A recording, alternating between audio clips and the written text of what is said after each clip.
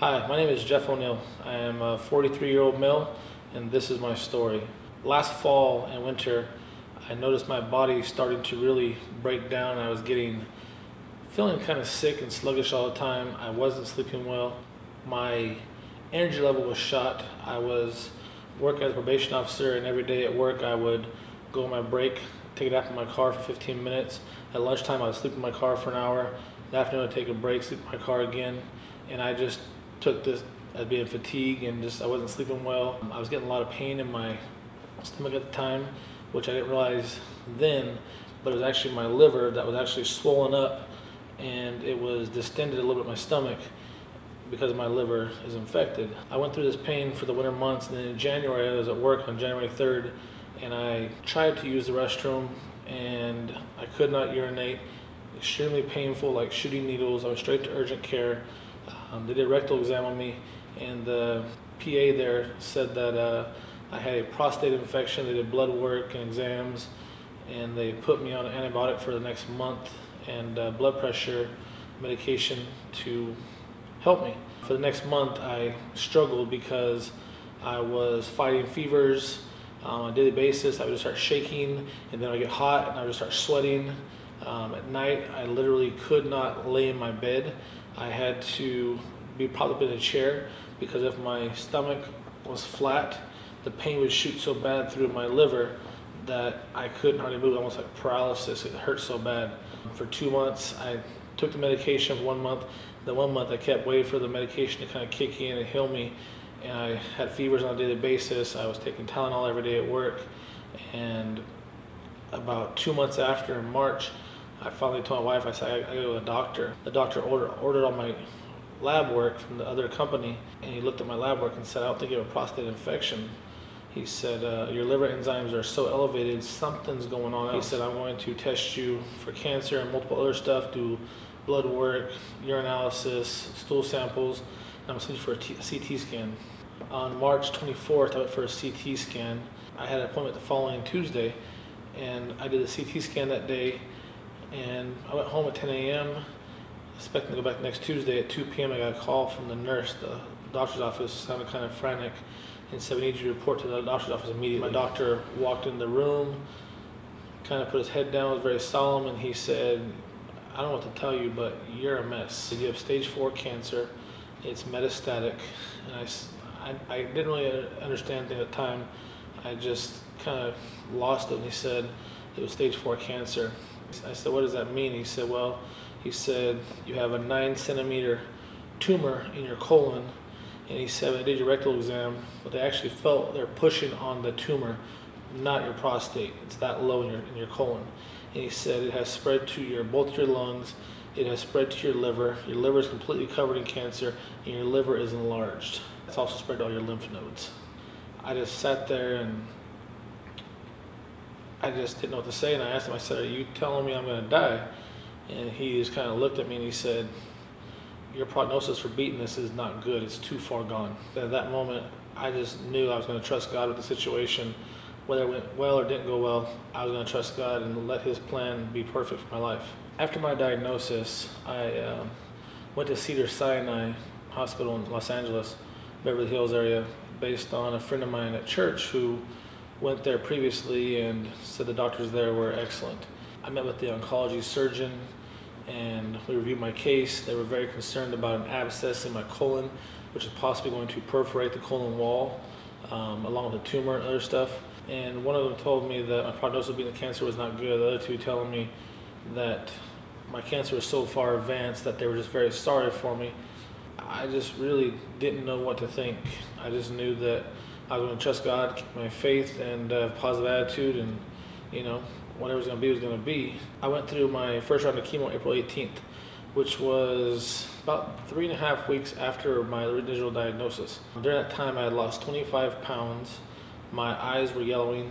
I was, uh, my eyes were jaundiced. Um, my face was kind of looking it was sunk in. Um, I was struggling to do anything other than sit on the couch. People would come visit me just to kind of check on me, see how I'm doing. It was not uncommon for me just to, to fall asleep during a conversation, wake up two hours later, everybody's gone. It's now, you know, the evening. My liver was fully, uh, grossly enlarged. Um, I could not lay flat. If I went flat, the pain would be so severe I could not do anything. I had pain in my rectum from the tumors that was constant. Um, I, I was a mess. Just prior to my first round of chemo, I tried to basketball one time with my son. I walked outside.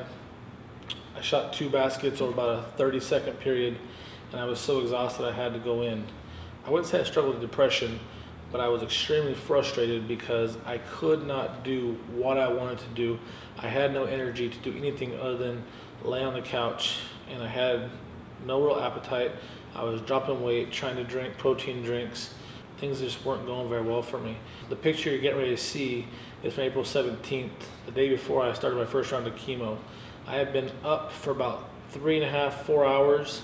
I did my testimony at my church that day. This picture really bothers me because I know how sick I was at the time, and I, know when I look at the picture, I look like somebody's heading towards death's doorstep.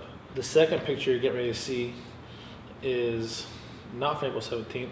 It's actually this past week, which would have been uh, July 12th. My wife and I were at Disneyland um, during my last round of chemo. I took my chemo bag, carried it with me to Disneyland, uh, downtown Disney, and spent time with my wife walking around. Since then to now, I have gained all the weight back that I lost, and things have went completely different. After my first round of chemo, for 40 hours straight, I had a fever. I went to the hospital to finish my round of chemo. The hospital was very concerned, thought I had an infection because I had had a fever for almost 18 hours at the time. I got hospitalized overnight. Um, the fevers would not stop. My skin was very cool to the touch, but inside I was on fire and I could feel it. They packed me in ice for almost 24 hours. I laid in the bed just with my underwear on. I packed ice under my arms, ice behind my head. I had ice pack across my chest. I had ice packs underneath my legs, and they kept my room very cold, trying to break these fevers. After 24 hours being in the hospital, I was released because my fever had finally broke, and they're doing blood culture to see if I have infections in my blood. I went home that Thursday, and I was supposed to have an appointment with Golden Sunrise Pharmaceuticals the following day. I wanted to go to Golden Sunrise Pharmaceuticals, but I was so sick, I could not make the 35 mile trip due to my condition. All I want to do is sit on the couch. So I actually canceled the appointment. The following Friday, I actually went to Golden Sunrise Pharmaceuticals and met with the representative. After I was released from the hospital, I really felt like God was leading my path. And a friend of mine from church that I'd known since I was a kid, she was my young life leader, introduced me to Golden Sunrise Pharmaceuticals as her husband knew the company very well because somebody he knew was a representative for the company. And she had previously used our products and she said that she believed they would help me. During the meeting at Golden Sunrise, I was told that this product would do amazing things for me if what I was told was actually correct. I was told the product would rebuild my stem cells and make them larger like they were like they were before as I before I started aging. I was also told that the stems, the cells rebuild faster than the chemo could tear it apart. They would supersede the chemo, and I probably would not lose my hair. My chemo I take is 50 hours at a time. I do four different medications, and it is a very aggressive chemo. So I went to Golden Sunrise Pharmaceuticals. I knew what I was dealing with at the hospital, but they told me that the product would build my immune system up to where as I go through chemo, my side effects should be not much more than getting a flu shot or a mild flu. I left that day with the products, went home, started taking them, and this was three days prior to my next round of chemo. Within two days, the sores in my mouth had cleared up. The pains in my hips and my neuropathy were a little bit less intense. Just before my second round of chemo, I took the prescription drug label that Golden Sunrise had given me for ImunStem, I provided to my oncologist at Cedars-Sinai. And I told him I wanted to take this product, which was all natural. My doctor reviewed the product label and uh, said he would not have any problem taking that product as it seemed like it's all natural and it would not interfere with my chemo. After that second round of chemo, I developed a very nasty infection in my jaw that required some very strong antibiotics to clear up. But my side effects from the chemo were not that severe compared to the first round. Uh, as I went on to the next round of chemo, each round of chemo, my side effects became less and less. Uh, what I mean by that is the pains in my hips, I stopped having. Um, the real side effects of my chemo was some neuropathy only if I touched something cold or went into some area that had cold air. Otherwise, it wouldn't really affect me too much, and my legs cramp. That was really the only type of side effects I was getting. I still got some sores in my mouth after the next round of chemo, the third round of chemo. Golden Sunrise, I called them up and I said, do you have any suggestions for me? And they said to increase your dosage day before chemo, during chemo, triple your dosage, and the day after. It'll kind of help to offset the side effects of the chemo. Well, as I did that, my mouth, sort of my mouth cleared up instantly, and I started a regimen going to my fourth round of chemo that I would take the product one time per day. The day before chemo, two days before chemo, I would double it. Day before chemo, I would triple my product. Each day of chemo, I would take it three times. The day after chemo, I take it three times, and then cut back to one time per day. If my body is feeling a little bit lethargic during chemo, I'm not feeling that great, I will just increase the product and my energy level increases and my side effects have been very minimal. The two products from Golden Sunrise that I currently use are Aktiffvate and ImunStem. Just prior to using the products, I had got a scratch on my hand right here that would not heal up. It took nearly eight weeks for that to heal up. At the end of May, I got a cut on my leg right here. At that point, I had the ImunStem in my system for nearly a month. And this wound right here, which was deeper than this cut on my hand, healed up within about four or five days. When I asked Golden Sunrise about that, they said that's because my immune system is being rebuilt by the oils and my body heals more normally compared to somebody who suffers from chemo and their body does not does not heal. By the time I started my third round of chemo, my energy level had been going up and I started to feel more like my normal self. My appetite had come back, my ability to drink fluids had came back, and I was starting to bring my weight back on to get back to my normal weight. I actually had enough energy. I started playing full court basketball with friends at church, and I started becoming more active during my time away from chemo. I started going out and being active with my kids, um, going places, doing stuff that I didn't do before. Before I was simply on the couch. But as the Aktiffvate and the ImunStem built up my system and repaired my system, I was able to handle the chemo with very little side effects. My energy level stay up and I was able to stay active with my family, which has been very critical in this process. After round four of chemo, during chemo, the second day I took and my wife and I went on a date, walked the mall, we went to the movies, did a lot of things. My doctor and my nurse was very surprised at what I was doing because this was not typical of a stage four cancer patient and due to the aggressive chemo I had. My doctor and nurse would constantly tell me that it was just amazing and they thought I was doing very well, my body was handling the chemo very well, and I was really responding positively. After my fourth round of chemo, I did blood tumor marker tests. If you're familiar with this, I did a CA test, which is a tumor marker. A CA is something that bleeds out or releases some tumors into the body. And mine started at uh, 1990, which a normal person, I believe, is 3.5 or less. And over those first four periods of my first four rounds of chemo, mine dropped over 1,400 points down to 467. At the same time, I had my CA 19-9 test, which is another blood tumor marker test, which started like at 3,000, dropped down to 2611. The doctor and nurse were very pleased with my progress because this was an indication that my tumors were shrinking and my cancer was shrinking. Just prior to starting round five of chemo, I took a trip with the youth of my church, because I'm a leader with the youth, and went down to a college dorm, dormitories, stayed in the dorms, 4,000 people, activities all weekend. I actually played a dodgeball tournament. Um, we won first five rounds, made it to semifinals of the tournament. I played basketball. I walked the whole campus all weekend. I was very active from the morning till the night.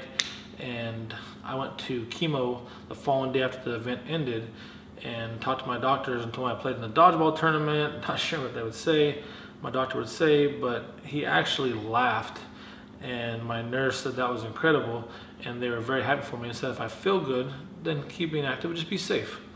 I was feeling great because the immune stem Aktiffvate had built up my system to where I felt like myself, better than I had in probably a year. I started my round of chemo, set fourth round of chemo that next day, or that day. On the second day of chemo, I felt good enough. My wife and I went to Disneyland. I walked California Adventure for the first half of my trip. And then the second half, I actually got a wheelchair because my wife said she told me to lose my energy level during the day. So I got a wheelchair. We stayed at Disneyland until 11 p.m. that night and had a great time. As of today, I've finished seven rounds of chemo, 350 hours. I'm taking four medications. I'm getting to my eighth round of chemo pretty quick. Since about round four, once the activated ImunStem built up in my system, my side effects have been very minimal. I mean, I come home from my 50 hours of chemo, and the next day I'm out and about doing stuff. Um, if I feel like I need to rest, I listen to my body and I do rest. But at this point right now, I'm leading a very active, full life, which three months ago, I did not think was even possible. After this past round of chemo, round seven, I was told that my bile ducts, my liver were actually functioning in normal range for the first time. My heart's functioning in normal range. My organs are all function in normal range. My chemistry panel was in the normal range, which this is the first time since I started chemo that I've had everything in the normal range. During my fifth or sixth round of chemo, I was talking to my nurse who informed me she was actually part of the research team at Cedars-Sinai and I was telling about the activated ImunStem and how it had affected me and that's why I was having very little side effects and she asked me about the company, asked me about the information because she was going to go research it for herself to learn more information about the company because she was studying immunotherapy at the time and she wanted to learn because she had seen the results that I was having and she knew the aggressive chemo that I was taking. Just prior to my seventh round of chemo, I did CAT scans and the abscess in my colon that was possibly going to perforate the wall is now gone and the rest of the disease and tumors have shrunk about a third according to the doctor. So things are definitely going well. My body is tolerating the chemo very well, and I believe it is strictly because of Golden Sunrise products and the way they build a barrier against the chemo so I get the benefits, but I don't get the suffering. And without Golden Sunrise, I'd be very scared to know where I'd be right now. Thank you.